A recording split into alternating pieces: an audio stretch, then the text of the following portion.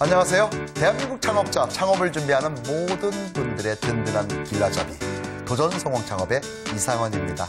안녕하세요. 김가영입니다. 소장님, 네. 최근에 혹시 읽고 계신 책 있으세요? 예, 요즘 뭐 부의 탄생서부터 어. 시작해서 뭐 초안지 만화책 몇 권, 뭐 이렇습니다. 아, 만화책도 뭐 교훈을 주는 만화책도 요즘 많더라고요. 예, 네. 제가요, 요즘 책 한 권을 읽고 있는데요. 네. 마음에 쏙 와닿는 글이 하나 있어서 소개를 해드리려고 해요. 뭘까요?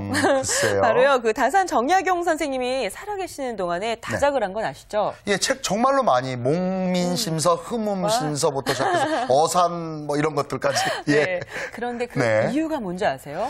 그렇게 많은 글들을 남길 수 있었던. 글쎄요. 아무래도 이제 유배 기간이 좀 기시다 보니까 음. 그 기간 동안에 알고 있는 지식을 책으로 만드셨지 않을까 싶습니다. 제가 보니까요, 지금 제가 읽고 있는 책 소장님 읽으신 것 같아요. 네. 아닙니다. 읽진 않았어요. 확실한가요?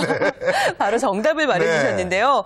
요배 기간이 길었기 때문에 그 무료하고 서러운 시간을 견디기 위해서 음. 네. 글을 많이 쓰신 거예요. 아. 근데 그 글들이 이제 후세에 많은 사람들에게 위안을 주는 좋은 글들이 된 거죠. 네, 그렇습니다. 아무리, 아무리 이제 힘들고 위험 하고 어려운 시간이 되어도요, 그걸 어떻게 활용하고 노력하느냐에 따라서 결과가 좀 달라지지 않을까. 네. 그렇게 책도 많이 쓰셨잖아요.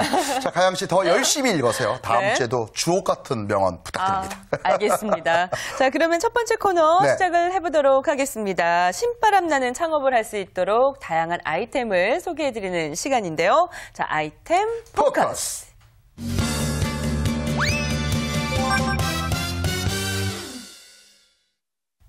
창업을 준비하시는 분들에게 위기를 기회로 만들어줄 오늘의 아이템 네. 궁금하시죠? 네. 자, 윈 프랜차이즈 서포터즈의 이지훈 대표님 함께 해 주셨습니다. 안녕하세요. 안녕하세요.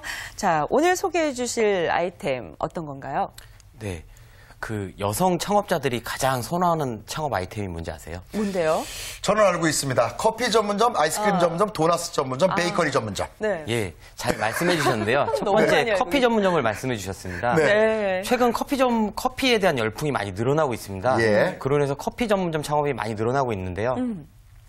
그 지- 대형 커피 브랜드들, 네. 대기업에서 이제 커피 시장에 많이 뛰어들고 있습니다. 네. 그래서 소자본 창업자들이 커피 전문점을 창업할 수 있는 기회가 점점 점점 더 줄어들고 있는데요. 네. 이런 대형 커피 전문점에 도전장을 낸 아이템이 있습니다. 음. 오늘 바- 오늘 바로 소개해드릴 아이템은 예. 로스터리 커피 전문점입니다. 아, 그렇군요. 사실은 이 커피 전문점의 음. 그 창업을 하는 형태의 변화가 한 4년 주기로 좀 움직이고 아, 있거든요. 그래요? 근데 2010 년, 2011년에 핫 아이템을 첫 순위를 꼽자면 음. 역시 금방 이지훈 대표 얘기했듯이 커피 전문점인 건 사실입니다. 음. 자, 그런 뜨거운 창업 시장의 뜨거운 아이템 커피 전문점. 자, 이 대표님. 앞으로도 계속 발전할 수 있는 전망을 하고 있습니까? 음. 네. 발전은 앞으로 계속 할 것으로 보이는데요. 네. 우리나라 커피 시장의 그 시장 규모는 약 3조 원 정도가 됩니다. 아. 네, 그, 그 커피 시장은 크게 세 가지로 나뉘는데요. 인스턴트 커피가 거기, 거기에 한 1조 2천억 원의 음. 규모고요. RTD 커피가 그 7천억 원. 네. 그리고 원두 커피 전문점이 1조 1천억 원 정도의 매출을 보이고 있습니다. 예. 거기에 또 이제 그 우리나라는 그 커피 소비가 세계에서 10위인 커피 대국입니다. 네. 또 그리고 2008년부터 커피 전문점이 많이 늘어나고 있는데요. 네. 연 한 51%씩 계속 증가하고 있습니다. wow. 현재 그래서 한 9천여 개 점- 정도의 커피 전문점이 있고요. 네네. 상위 9개 브랜드의 점포 수를 합치면 한 3천 개 정도가 됩니다. 아하.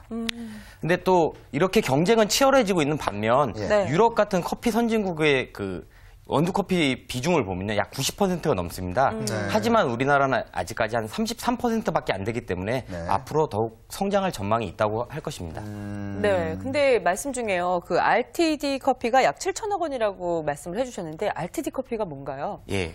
RTD 커피란 ready to drink 바로 마실 수 있는 커피를 의미합니다. 그러니까 아. 편의점 같은 데서 파는 예, 캔, 캔 커피? 캔에 담긴 예, 이런 음료를 의미합니다. 네, RTD 커피 뭐 처음 들어보는 이름이라서 좀 궁금했네요. 네.